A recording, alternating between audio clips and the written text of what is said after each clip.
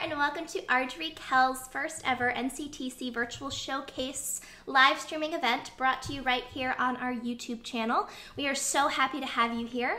My name is Miss Rohlf and I am the new theater teacher at Ardrey Kell High School and I am so excited to present to you the work that myself and the advanced theater class has been putting together for you. Over the past couple of weeks, these students have written, directed, produced, and edited the work that you are about to see this evening.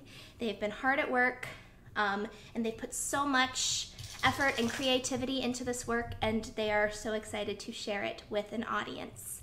Um, under normal circumstances, that audience would be in a theater, in the seats, with all of the kids together, because of that fact and things being different this year, we ask if you are able to give the link in the description below a click to donate what you can to the theater program here at Ardrey Kell. Um, in lieu of ticket sales, uh, we are looking at this to ensure that the theater program continues on and that we are able to continue to bring artistic works and productions to you virtually. So if you are able, please give that link a click and donate what you can is going to a great cause to get these kids performing in these unprecedented times. So, with that, please enjoy the show. Please give us a donation and spread the word. Thank you so much. Enjoy.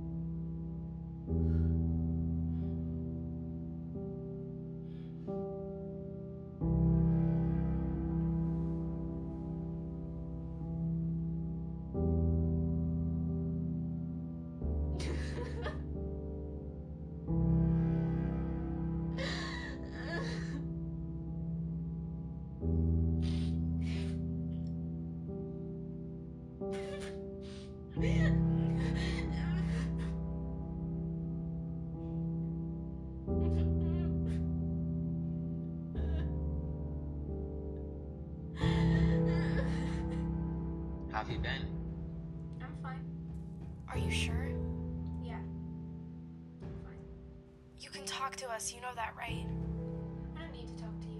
I have a therapist for that. I never pegged you as type for therapy. Of course I'm not. You know me better than that. My mom signed me up for sessions. I go meet with this guy once a week and then I write in a diary for him. You know, he reads it all. It's very intrusive. Well, I'm glad you're talking to someone. I'm going to the memorial today. Do you want to come? No. No, I'm good. It'll be good for you. Closure and all that. I'm not going back there. Come on, Jess. She'd want you to be there. You don't know what she'd want. We were all close. We know what you're going through. No, no, you don't know what I'm going through. She was your friend. She's my. She was my sister. She still is.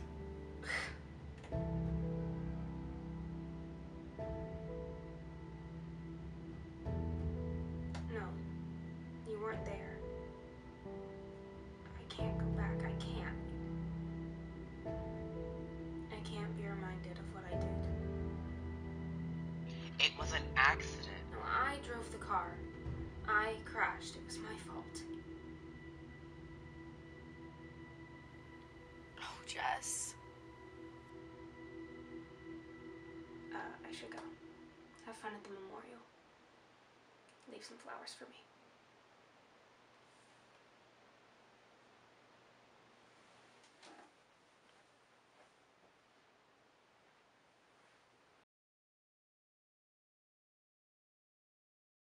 I've never been one for journaling, but here goes. Dear Diary, I don't want to talk about it.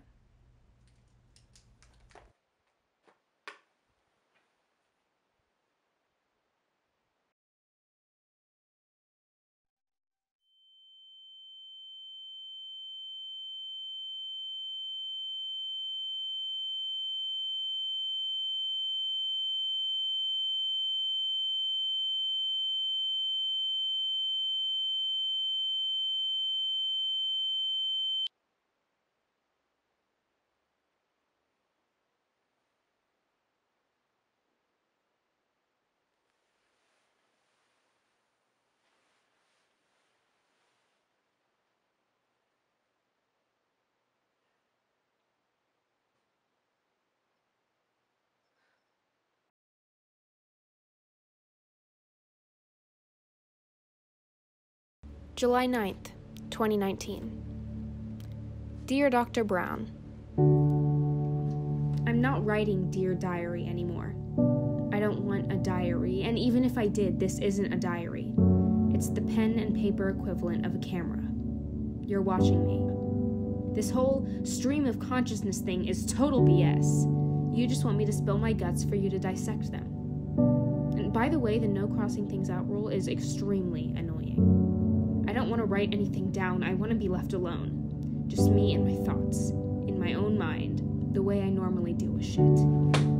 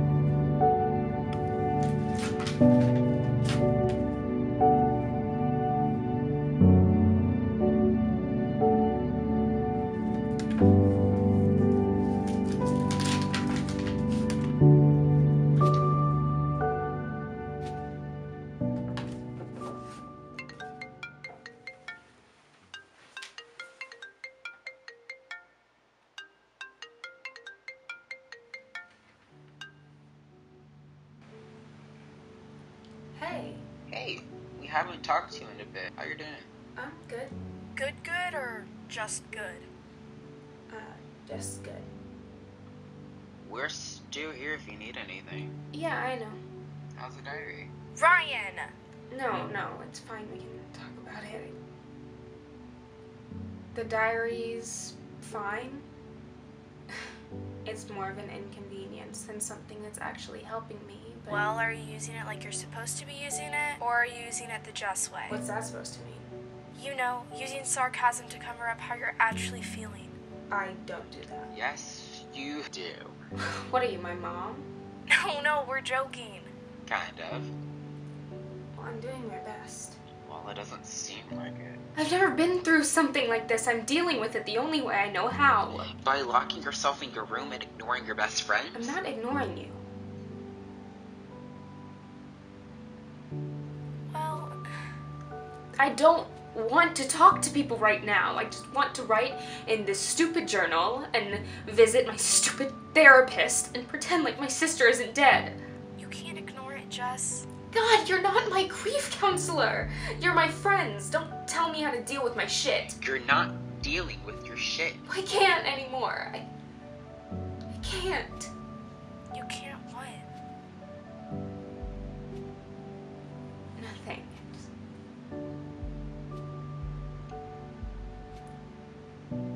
I can't even cry anymore. No matter how hard I try, I just can't. Fucking psychopath. Oh, my sister's dead and I can't even cry about it. I mean, at first, it was like I couldn't stop. I wanted to so badly, and I mean, I was crying nonstop for days. And then the funeral happened, and I came back home, and I saw her picture, and I cried again, and then I stopped, and now I can't start. It's like a dam, and I feel like I need to, but I can't. And I get the pressure, and my eyes start stinging, and my, my throat gets sore, but the tears never come. I'm so sorry. Yeah, I know.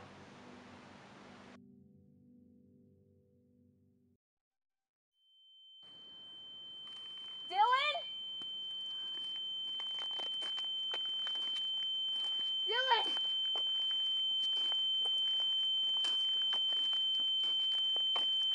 Dylan!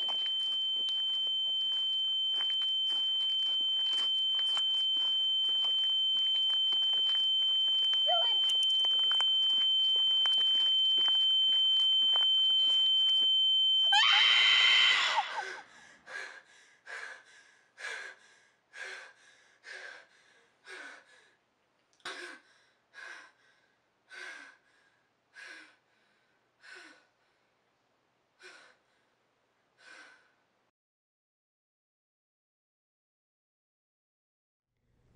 July 17th, 2019.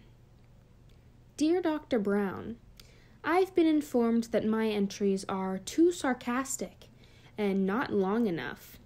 Thanks for that. Now my parents are on my ass about actually completing these journals. But fine, fine. I'll actually write this time. Not because I want to, but because I have to. Here goes. Tomorrow will mark exactly one month since Dylan died. I'm not ready. I can barely sleep without dreaming of that night, so who knows what kind of shit my brain is going to pull tomorrow. I don't know how to move past this. I know I'm not the only one who's struggling, but I can't relate to anyone else. They're just coping with the loss, but I'm. I'm coping with the guilt, too. No matter how many times people say that I'm wrong, I can't get it out of my head that it was my fault. Because it was. She told me to slow down. She knew it was dangerous. I I just never know when to stop. Dylan didn't deserve to die. It should have been me. The letters and the flowers and the memorial. It should have been for me. I would give anything to switch our places. She deserved to live more than I did.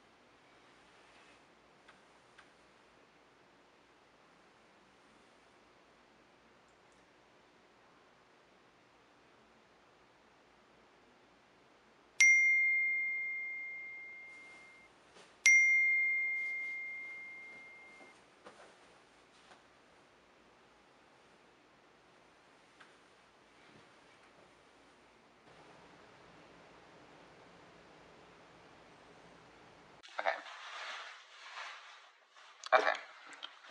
A little powder. Is this for highlighter? Um, it can be. I use it for contour. These Swedish fish were open. Can I still eat them? Which one? I'm eating them. They were open. I Save one for me. That's my favorite. I just Or don't eat all my candy. I thought that bad. I thought it was free real estate. okay. What are you doing? My makeup. My phone. Oh, Yeah. are we recording? Yeah, we are. I'm It looks good. Hey. oh, more candy. Hey, mom just bought this for me. Is it like cute? I really don't know. Uh, not really. yes, it is. It's cute. It's just not my personal style. Give me the. Hey! I think it looks great. Um, this color is really cute on me. Okay, Hailey, turn off the camera. Not again. Give